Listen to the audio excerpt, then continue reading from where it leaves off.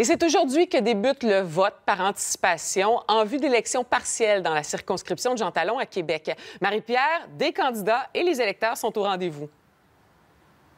Dès 9h30 ce matin, Véronique, à l'ouverture des bureaux de vote, des dizaines de personnes qui faisaient la file devant ce centre communautaire qui est situé derrière moi, même plusieurs personnes qui sont arrivées à l'avance pour l'occasion. Il reste encore, on le rappelle, une semaine avant l'élection partielle dans Jean Talon qui aura lieu le 2 octobre prochain. Ça a été provoqué, on le rappelle, par le départ de la députée caquiste Joëlle Boutin, qui avait euh, évoqué euh, à ce moment des raisons familiales pour justifier sa décision.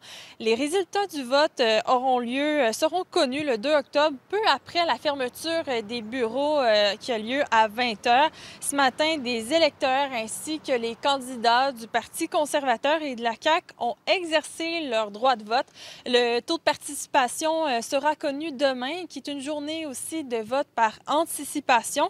Je vous laisse entendre à l'instant les candidats Jessie Robitaille et Marie-Annick Chouari qui ont justement voté ce matin. C'est important de voter parce que l'élection partielle dans Jean Talon, nous parlons beaucoup des enjeux locaux. C'est important de donner une voix aux électeurs qui s'opposent au tramway et qui appuient le troisième lien. On travaille très fort euh, sur le terrain depuis le début de la campagne. Je suis vraiment privilégiée de pouvoir rencontrer les gens, échanger avec eux. Donc, euh, très contente d'être ici ce matin, puis on va travailler très fort jusqu'au 2 octobre.